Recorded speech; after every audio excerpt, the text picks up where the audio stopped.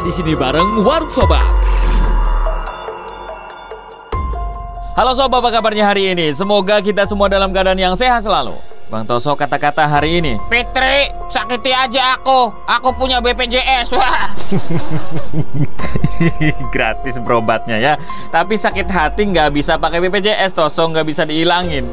Iya juga ya, Aflanter. Ya gimana sobat-sobat piringnya udah disiapin sambil makan nonton warung sobat Atau ada yang rebahan sobat-sobat atau ada yang kerja atau lagi istirahat ya Kali ini aneh suguhin foto dan rekaman creepy dari internet Let's go.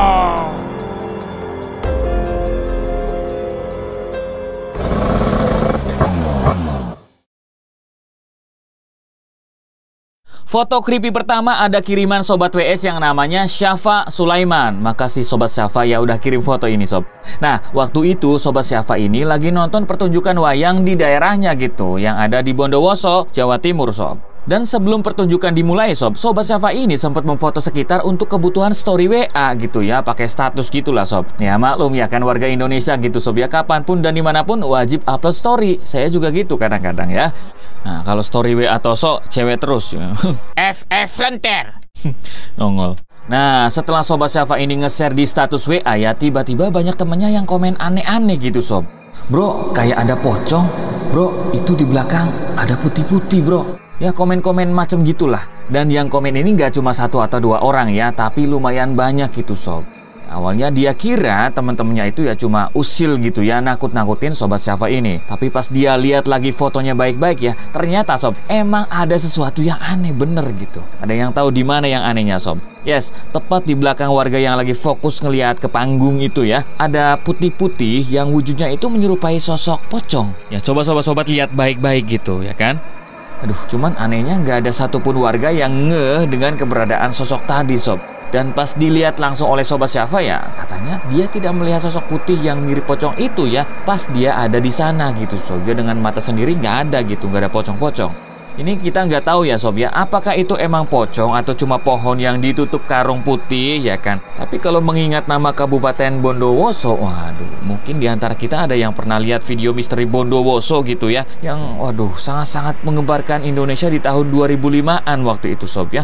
Kalau menurut kalian putih-putih tadi apaan sob? Apakah emang pocong ataukah sesuatu yang lain gitu? Coba tulis komentar kalian di bawah sob. Selanjutnya ada mbak-mbak reporter yang tak sengaja merekam suara misterius saat sedang meliput gitu sob. Nah pas dia lagi ngejelasin berita mengenai toko buku ya yang ada di kampus UI sob. Tiba-tiba terdengar suara ketawa perempuan. Ya dengarkan baik-baik videonya sob. Katanya di sini tuh tadinya banyak sekali kios-kios toko buku baru atau kios-kios toko buku yang lengkap. Dan katanya di sini tuh tadinya tuh banyak sekali kios-kios toko buku baru atau bekas. Tetapi di era zaman e-book sekarang apakah masih ada? Hmm, langsung aja yuk kita ikutin terus eh salah. ah ulang tuh. Ya, suaranya bener-bener jelas ya. Ada yang bilang sob, suara ketawa tadi mungkin suara mahasiswi yang lagi bercanda gitu. Cuman ada yang bilang kalau suara ketawa tadi ya mungkin suara Bakunti gitu ya. Karena kalau kita lihat dari keterangan di video ya katanya mereka syuting di pinggir danau UI. Nah, menurut banyak mahasiswa di sana sob ya, danau di kampus UI ini emang terkenal angker. Dan kalau misalkan kita ingat baik-baik sob, pada tahun 2015 lalu ada mahasiswa UI bernama A ya. Ya pokoknya inisial A lah yang jasadnya ditemukan di danau UI itu. Dan itu korban mengenaskan sekali sob. Ya selain itu sob ya ada banyak cerita-cerita misteri yang konon katanya sob dialami mahasiswa-mahasiswa UI ini. Jadi kalau misalkan mungkin sobat-sobat ada yang lulusan UI ya mungkin kenal gitu ya atau tahu gitu kalau danau di sana hmm begitu sob.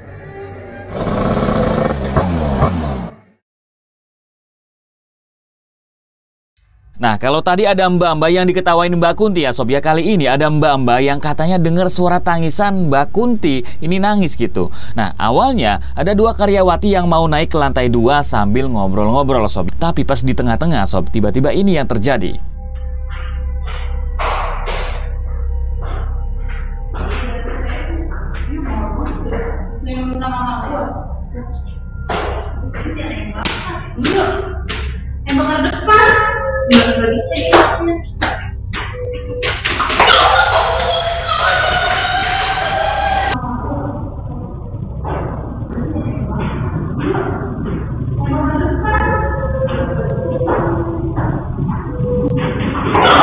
Jelas banget suaranya sob.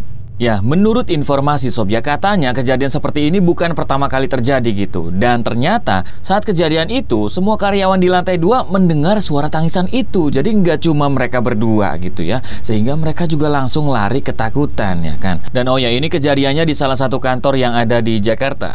Hati-hati buat sobat-sobat yang lembur malam. Mungkin sekarang ada yang masih kerja ya kan. Aduh. Bam, anterin ke toilet. Eh, Tosong nggak mau ah.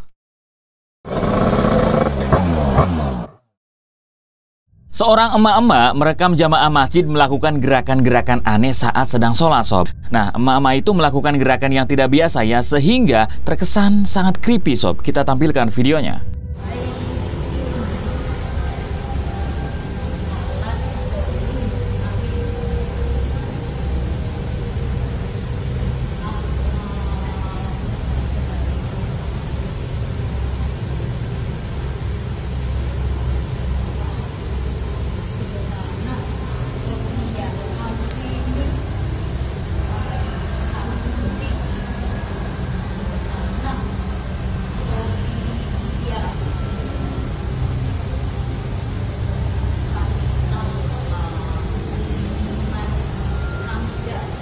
Iya kan? Aneh banget sob. Ada yang bilang kalau si emak itu mungkin punya semacam kodam yang menolak untuk sholat.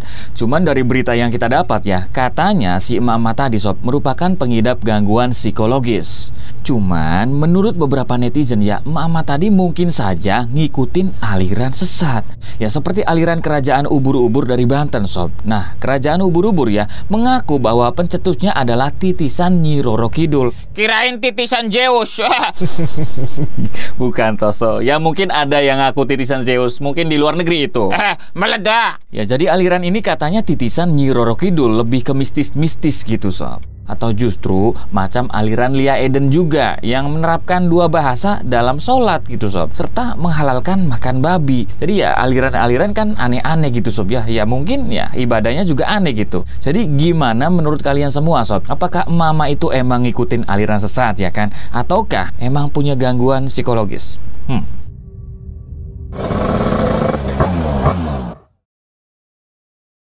Kalian percaya santet nggak sob? Ya mau dibilang nggak percaya tapi sob ya Beberapa peristiwa santet di Indonesia kadang sering terjadi dan ramai dikomentari di medsos ya kan? Oke, rata-rata pada saat santet itu berlangsung sob ya banyak ditemukan dengan wujud buhul ataupun kobaran api. Nah tapi itu di Indonesia. Yang terjadi di luar negeri justru lebih bikin merinding sob ya. Begini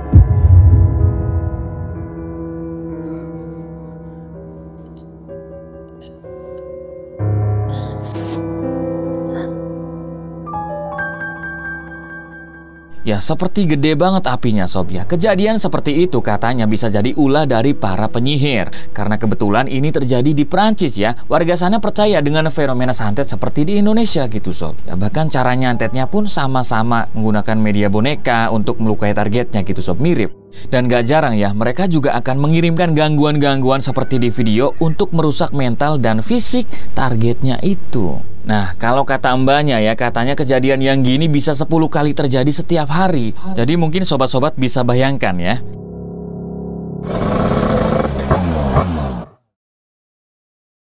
Mungkin kita mengira kalau bangsa setan itu gaptek sama teknologi manusia zaman sekarang, sob. Tapi terkadang ya, ada saja bangsa makhluk halus yang bisa mengotak-atik barang manusia. Ya seperti yang terekam CCTV di sebuah parkiran ini, sob ya. Kita lihat, sob.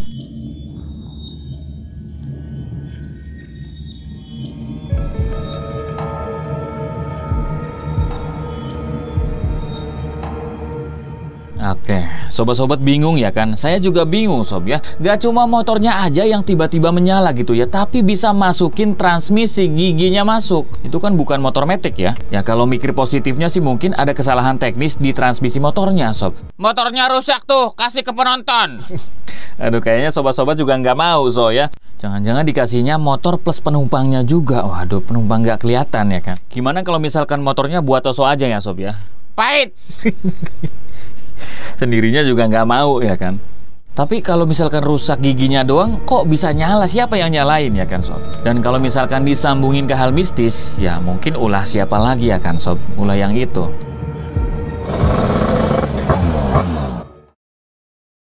Sebuah foto tim palang merah dari Thailand mendadak viral dan menjadi perbincangan hangat di warga sana, sob. Jadi waktu itu ada tim penyelamat yang sedang memberikan bantuan kepada pengendara motor yang ngalamin kecelakaan. Dan katanya ya, korban ini ngalamin luka serius hingga mengeluarkan banyak cairan merah gitu, sob ya. Paham ya?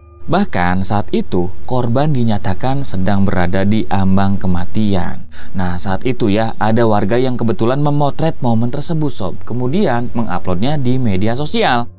Oke, kalau kita lihat sekilas ya, mungkin nggak ada yang aneh gitu di dalam foto itu ya kan? Ya, nggak ada gitu sob. Cuman, kalau kalian tahu keanehan yang ada di foto itu ya, pasti kalian bakal langsung merinding gitu sob. Ya, di antara tim penyelamat yang sibuk memberikan bantuan ke korban itu ya, ada sosok menyeramkan yang ikut melihat ke arah korban.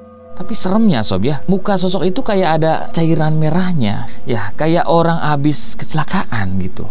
Dan kalian tahu apa yang bikin creepy-nya sob ya? Jadi katanya sosok menyeramkan itu mukanya mirip dengan korban kecelakaan yang sedang sekarat itu.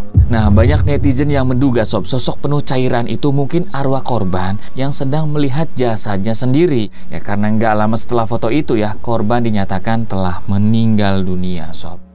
Nah, oleh karena itu ya, semakin banyak warga yang percaya kalau itu arwah korban kecelakaan itu ya kan. Jadi kayak ayah arwahnya baru keluar, terus ngelihat dirinya sedang dikerumunin warga gitu.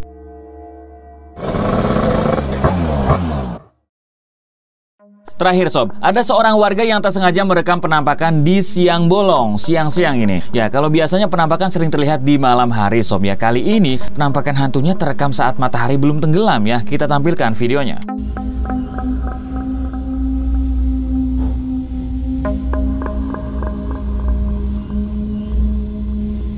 Thank you.